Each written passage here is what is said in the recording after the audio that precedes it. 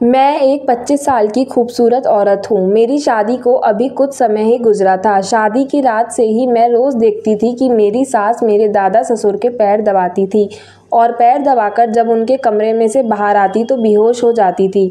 मैंने बहुत बार अपनी सास से पूछा, पर उन्होंने इस बात का कभी कोई जवाब नहीं दिया। एक दिन दादाजी मुझे कहने लगे कि सास को अंदर भेजो। उस रात मैंने अपना मुँह ढककर अपनी सास की जगह अपने दादाजी के कमरे में चली गई।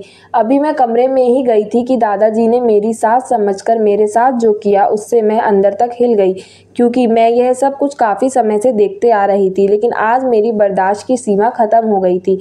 मुझे हमेशा से यही लगता था कि भगवान जाने मेरे दादा ससुर किस तरीके के इंसान हैं। दिखने में तो वह बहुत सीधे साधे हैं, लेकिन उनके अंदर हैवान छिपा हुआ है। मेरी सास जब कुछ घंटे मेरे दादा ससुर के कमरे में गुजार कर बाहर आती तो उनका चेहरा बिल्कुल फीका सा लगता था। उनकी आँखें रो रो कर सूज गई थी। मैं बाहर आँगन में ही चक्कर काटते हुए अपनी सास का इंतज़ार कर रही थी। लेकिन उस रात मैंने अपनी सास को जिस हालत में देखा था, मुझे बहुत बुरा लगा। मैं उनकी तरफ़ बढ़ ही रही थी कि वह बेहोश होकर ज़मीन पर जा गिरी। मेरी तो जान जैसे मेरे मुँह में आ गई थी। मैं बहुत ज़ोर ज़ोर से चिल्लाने लगी। मेरी आवाज़ सुनते ही मेरे दादा ससुर भी कमरे के बाहर आ गए। मेरी सास को उनके कमरे में लिटाया गया और मेरे दादा ससुर ने ही डॉक्टर को बुलाया। डॉक्टर ने आते ही मेरी सास को चेक किया और उन्हें कुछ इंजेक्शन लगाए और हम सबको बताया कि उनकी मानसिक और शारीरिक हालत ठीक नहीं है, वह डिप्रेशन से है, इसलिए वह बेहोश हो गई थी। मैंने तो बहुत ही हैरत भरी नज़रों से अपने दादा ससुर को देखा। मेरी नज़र पड़ते ही वह मुझसे नज़रें चुराने लगे। मुझे तो जैसे उनसे घिन आने लगी थी। मैंने अपनी सास की बहुत अच्छे से सेवा की और कुछ दिनों में वह बिल्कुल ठीक हो गई। उनके ठीक होने पर एक दिन बातों ही बातों में मैंने उनसे पूछा कि आखिर दादाजी आपको कमरे में क्यों बुलाते हैं? क्या करते हैं वहाँ पर? दादाजी, वह का नाम, व दादाजी का नाम सुनते ही ना जाने क्यों उनके चेहरे की हवाइयाँ उड़ जाती थी। एक अजीब सी घबराहट उनके चेहरे पर दिखाई देने लगती थी। मेरी सास ने मुझे गुस्से में चुप रहने के लिए कहा और कहने लगी कि हम दोनों के बीच में तुम मत बोलो। मुझे उन पर भी बहुत गुस्सा आया था। मैं चुपचाप उनके कमरे से बाहर निकल गई। मेरे दादा ससुर भी अजीब ही थे। एक तरफ़ तो वह मेरी सास के लिए इतनी ज़्यादा चिंता दिखाते थे और दूसरी तरफ़ दोबारा उन्हें रात को अपने कमरे में बुलाना शुरू कर दिया था। पर इस बार मैंने अपनी सास को धोखे से नींद की दवाई देकर सुला दिया और अपनी सास के कपड़े पहनकर चुन्नी से अपना मुँह छुपाकर दादा ससुर के कमरे में गई। मुझे जानना था कि आखिर हर रोज़ रात को वह मेरी सास को क्यों अपने कमरे में बुलाते हैं। उस रात उन्होंने मेरी सास समझकर मेरे साथ जो भी किया, उसको शब्दों में बयां करना मुश्किल है। मेरे दादा ससुर गाँव के मुखिया थे। गाँव का हर इंसान उनकी बहुत इज़्ज़त करता था। सब उन्हें पसंद भी बहुत करते थे और उनको हमेशा मुखिया जी कहकर ही बुलाते थे। गाँव में अगर कभी भी कुछ होता था तो हर किसी को इंसाफ की उम्मीद मेरे दादा ससुर से ही रहती थी। गाँव के लिए लोग उनको लेकर हमेशा खुश रहते थे। मेरी ससुर जी इकलौते बेटे थे उनके। मैं भी अपने दादा ससुर की बहुत इज़्ज़त करती थी इस घर में। लेकिन सब लोग मुझसे बहुत ज़्यादा प्यार करते थे। लेकिन जैसे ही मेरे ससुर जी की मृत्यु हुई, हमारे ऊपर तो जैसे क़यामत आ गई। अपनी बेटे के नगम में मेरी दादी सास भी चल बसी। मेरे दादा ससुर अकेले रह गए थे। मेरी सास का भी रो रो कर बहुत बुरा हाल हो गया था। उस दौरान कभी मैं अपनी सास को संभालती तो कभी अपने दादा ससुर को। मेरी सास ने धीरे धीरे अपने आप को संभाला और घर की सारी ज़िम्मेदारी निभाई और मेरे दादा ससुर के ऊपर आ गई। ससुर जब भी गाँव के किसी भी काम से वापस आते तो मेरे पास बैठकर मेरे ससुर जी की किस्से सुनाया करते थे। मेरी सास हमेशा उन्हें याद करके रोती रहती थी। मैंने कभी भी अपनी सास को मेरे दादा ससुर से बात करते हुए नहीं देखा था। ऐसा नहीं है कि वह उन्हें पसंद नहीं थी, लेकिन यहाँ पर सास और दादा ससुर आपस में बात नहीं करते थे। बात यह है कि मेरे सास दादा ससुर अपने ससुर दोस्त के बेटी को लेकर आना चाहते थे। लेकिन मेरे ससुर जी मेरी सास से ही शादी करना चाहते थे और अंत में मेरे दादा ससुर को उनके आगे झुकना पड़ा। इसलिए वह मेरी सास को पसंद नहीं करते थे। सालों गुजर जाने के बाद भी मेरी सास के लिए मेरे दादा ससुर का मन साफ़ नहीं था। जब भी उनकी नज़र मेरी सास पर पड़ती थी तो वह उनको नज़रअंदाज किया कर देते थे। लेकिन एक समय पर मेरे दादा ससुर की तबीयत बहुत ज़्यादा ख़राब हो गई। वह दवाई तक नहीं खाते थे। वह इतनी चिड़चिड़ा हो गए थे, लेकिन उन्हें समय मेरी सास ही थी, जिन्होंने उनकी डांट सुनने के बावजूद उनको दवाई खिलाई और अपने हाथों से खाना खिलाया करती थी। मेरे दादा ससुर तो उस समय मेरी सास को सिर्फ़ गुस्से में घूरते ही रहते थे, लेकिन मेरी सास ने अपना पूरा फ़र्ज़ निभाया था। सब कुछ देखकर मेरे दादा ससुर का व्यवहार मेरी सास के लिए बदलने लगा था। अब तो हाल यह था कि मेरे दादा ससुर अपने हर काम के लिए मेरी सास को ही रहते थे, चाहे वह दवाई खिलाना हो या पैर दबाना। मेरी सास अब हर रात मेरे दादा ससुर के कमरे में जाने लगी थी। कुछ घंटे रुककर वह वापस अपने कमरे में आ जाती थी। लेकिन ना जाने क्यों वह जब भी दादा ससुर के कमरे में गई थी, उनके चेहरे पर एक अजीब सा ही हाव भाव होता था, जैसे किसी गहरी सोच में हो। मैं जब भी पूछती कि क्या बात है? तो मुझे हमेशा कहती थी कि कुछ नहीं, ज़्यादातर समय उनकी आँखें नम रहती थी। उनसे इस तरीके का व्यवहार मेरे मन में उनके और दादा ससुर के लिए कुछ अलग ही सोच बना रहा था। आखिर वह उनके कमरे में ऐसा क्या कहते या क्या करते थे, जिससे वह बाहर आकर बहुत ही गुमसुम सी रहने लग जाती थी। जब से मेरी ससुर जी की मौत हुई, तब से शायद ही मैंने अपनी सास को कभी हँसते हुए देखा होगा। वह हमेशा उदास और दुखी रहती थी। मेरे दादा ससुर मुझे तो हमेशा सिर्फ़ दवाइयाँ के बारे में ही बात करते थे, लेकिन जैसे जैसे दिन गुजरते गए, मेरे दादा ससुर अपने एक एक काम के लिए मेरी सास के ऊपर ही निर्भर हो गए, जबकि घर में नौकर थे, लेकिन तब भी वे अपने सारे काम मेरी सास से ही कराते थे। कुछ दिनों से कुछ अजीब सा होने लगा था। हर रोज़ रात को मेरे दादा ससुर मेरी सास को कहते थे कि दूध लेकर उनके कमरे में आने के लिए। और मेरी सास जाती थी तो कुछ नहीं तो कम से कम दो तीन घंटे बाद ही बाहर आई थी। यह सब बहुत अजीब था। मेरे पति तो विदेश में रहते थे और जब से मेरे ससुर हम सब छोड़कर गए थे, तब से मेरी सास मेरे साथ मेरे कमरे में ही सोती थी। मेरे दादा ससुर मेरी सास को बहुत अहमियत देने लगे थे। पर पता नहीं, मेरी सास हमेशा क्यों डरी, सहमी सी रहती थी। जो दादा ससुर मेरी सास को पसंद तक नहीं किया करते थे। आज उन्होंने अचानक उन्हें गाँव की औरतों का मुखिया बना दिया था, जो औरतों की परेशानियों को सुनकर उनके साथ न्याय करने वाली थी। मुझे तो लगा था कि मेरी सास इस बात को सुनकर बहुत खुश होंगी, पर मेरे दादा ससुर के इस प्रस्ताव को मेरी सास ने स्वीकार नहीं किया। पता नहीं क्या वह सोचती रहती थी, वह दादा ससुर के इस फैसले से बहुत खुश थी कि चलो मेरी सास को उनका हक तो मिला। समय यूँ ही गुजरता रहा था। मेरे दादा ससुर अभी मेरी सास को रात को कमरे में बुलाया करते थे। एक रात में सो रही थी कि अचानक किसी की सिसकियाँ से मेरी नींद खुली। जब आँख खुली तो देखा मेरी सास रो रही थी।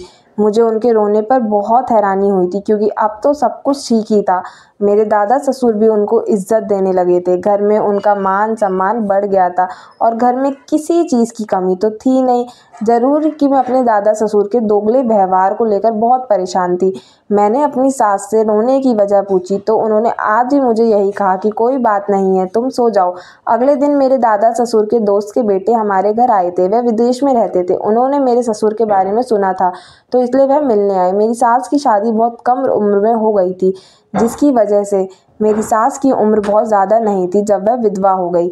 मेरे दादा ससुर के दोस्त के बेटे ने मुझे इन कुछ दिनों में बहुत प्यार दिया था। वह मुझे अपनी बेटी ही मानते थे, पर मैंने एक बात को महसूस किया था कि वह बार बार मेरी सास को देख रहे होते थे और मेरी सास उनसे नज़रें चुरा रही होती थी। लेकिन जब से मेरे दादाजी के दोस्त के बेटे घर पर आए थे, वह बहुत खुश थे। इन तीन दिनों में मेरे दादाजी ने मेरी सास को अपने कमरे में भी नहीं बुलाया था। एक दिन काफ़ी समय हो गया था। मेरी सास कमरे में नहीं आई थी। उनको ढूंढते हुए मैं बाहर गई। वहाँ मैंने जो देखा, उससे मेरे होश उड़ गए।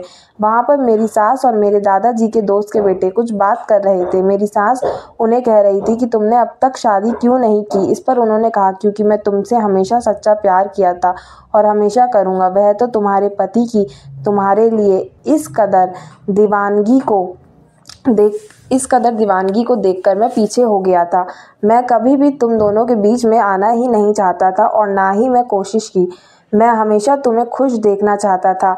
इसलिए जब तुम दोनों अभी तय हो गए हो तो मैं हमेशा के लिए विदेश चला गया, क्योंकि मैं तुम दोनों को खुश तो देखना चाहता था, लेकिन तुम दोनों की शादी होते हुए नहीं देख सकता था।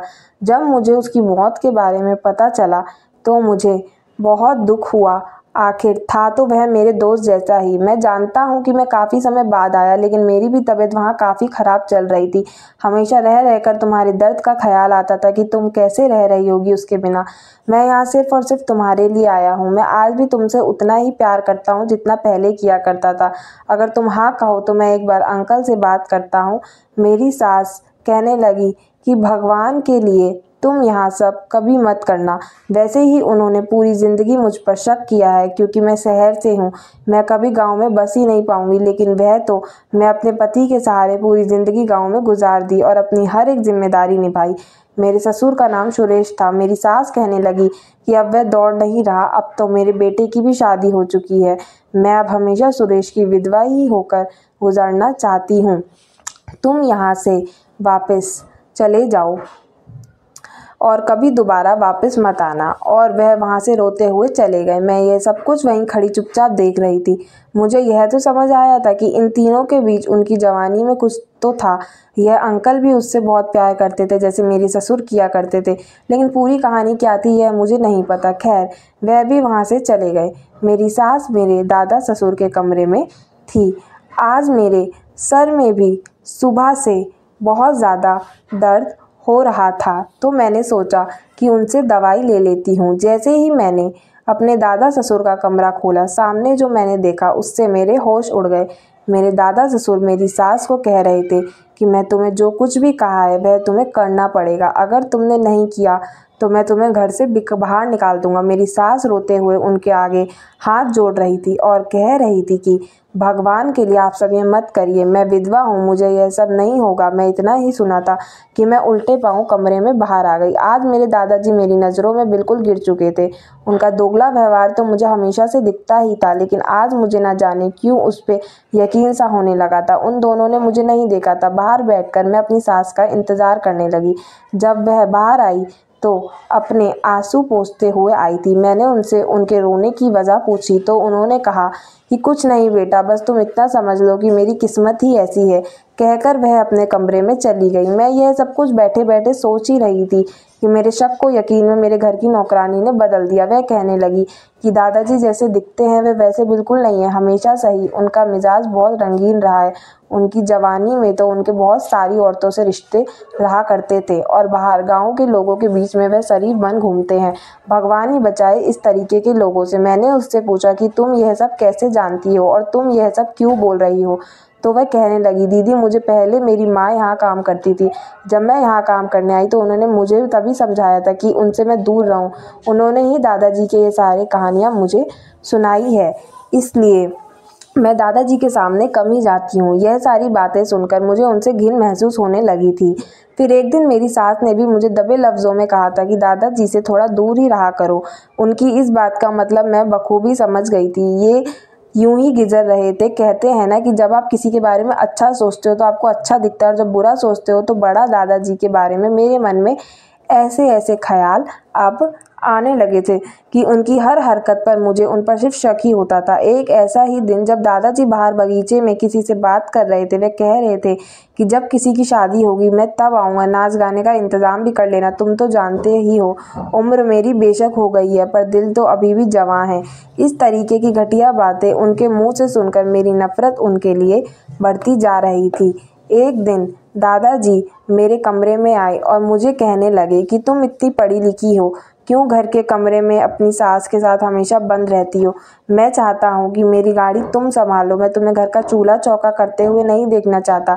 तुम्हारा पति भी तो बाहर रहता है। जब वहाँ से आएगा तो तुम्हें यह सब करते हुए देखकर उसे कितना बुरा लगेगा। कितनी पढ़ी लिखी होने के बावजूद तुम किचन में घुसी रहती हो।